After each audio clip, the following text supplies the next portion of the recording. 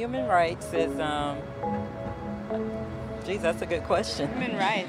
Well, that's a tough one. Wow. Um, I don't even know how to give that a definition. I would probably have to do a little bit of homework or something. Any right that I think any, just as a normal, you know, uh, human, any the rights that humans have.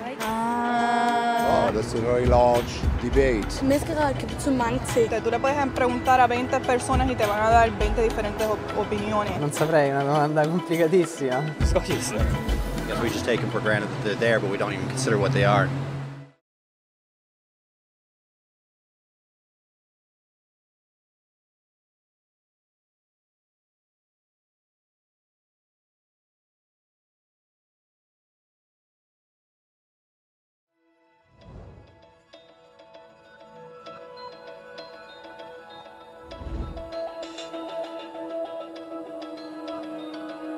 Human rights are the rights you have simply because you're human.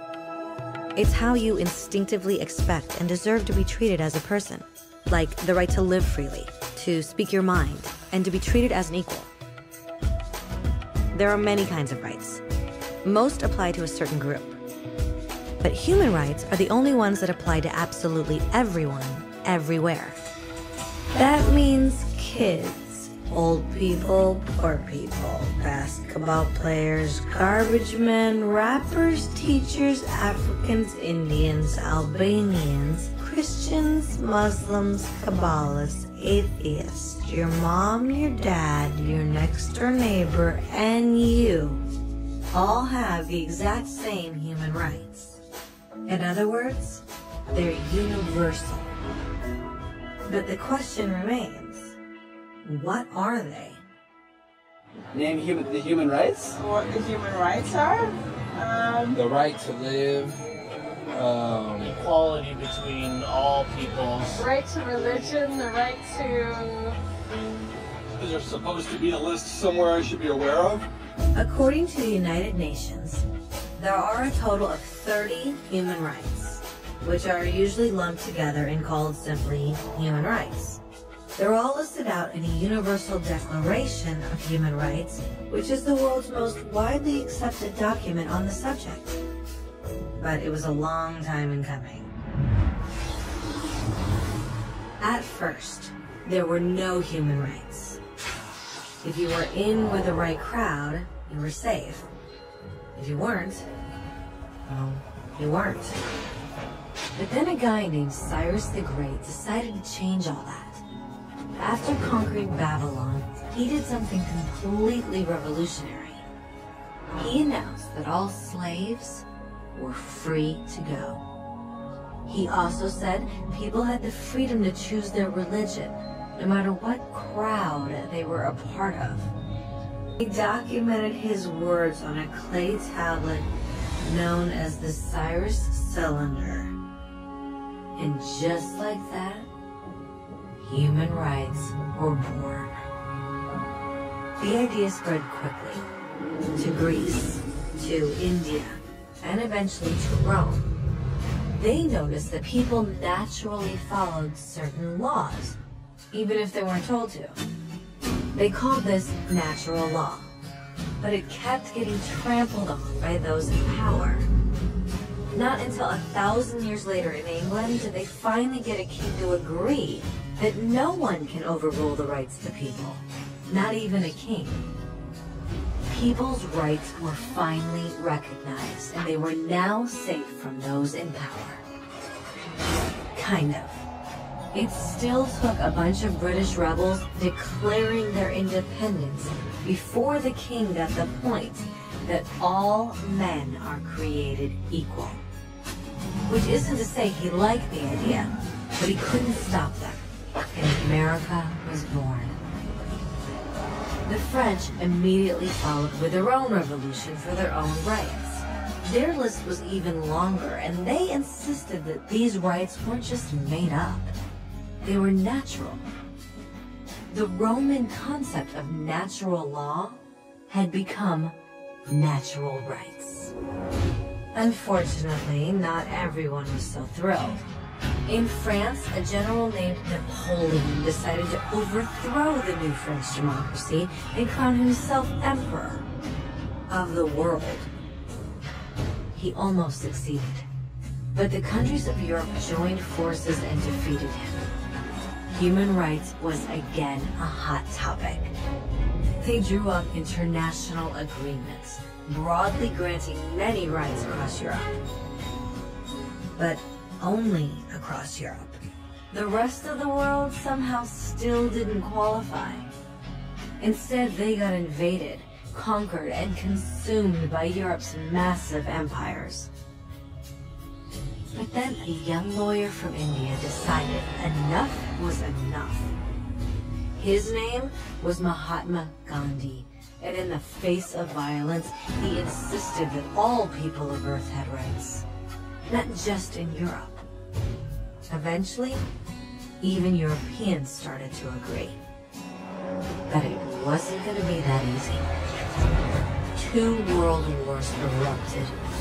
Hitler exterminated half the Jewish population of Earth in horrifying footsteps.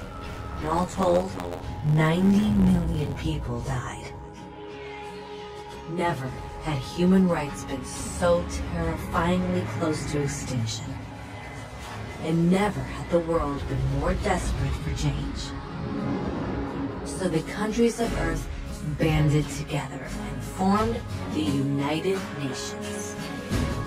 Their basic purpose was to reaffirm faith in fundamental human rights, in the dignity and worth of the human person. But what were human rights?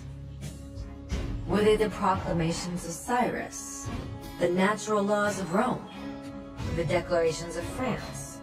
Everyone seemed to have a slightly different idea of what human rights should be. But under the supervision of Eleanor Roosevelt, they finally agreed on a set of rights that applied to absolutely everyone. The Universal Declaration of Human Rights.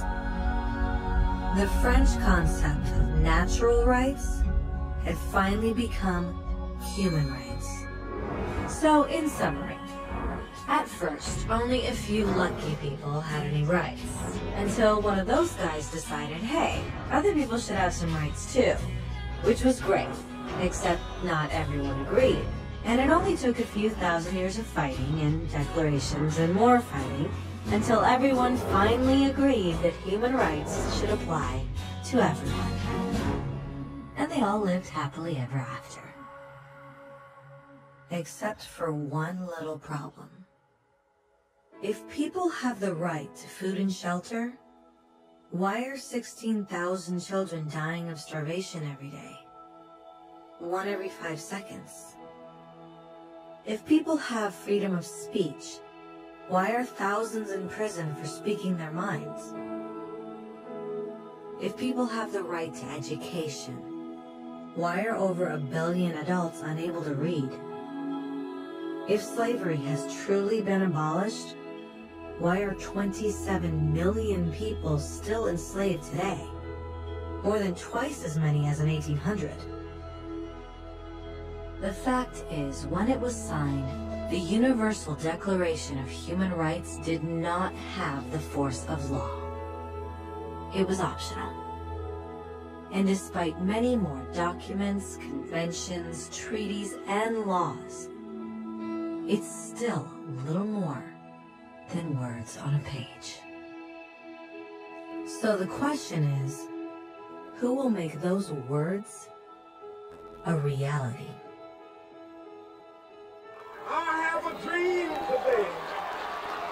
When Dr. King for racial equality, he was marching for rights that had been guaranteed by the United Nations for almost two decades. But still, he marched. When Nelson Mandela stood up for social justice in the 1990s, his country had already agreed to abolish such discrimination for almost 40 years. But still, he fought. Those who fight today against torture, poverty, and discrimination are not giants or superheroes. They're people. Kids, mothers, fathers, teachers, free thinking individuals who refuse to be silent, who realize that human rights are not a history lesson. They're not words on a page. They're not speeches or commercials or PR campaigns. They are the choices we make every day as human beings. They are the responsibility we all share to respect each other, to help each other, and to protect those in need. As Eleanor Roosevelt said, where, after all, do universal human rights begin? In small places close to home. So close and so small that they cannot be seen on any maps of the world.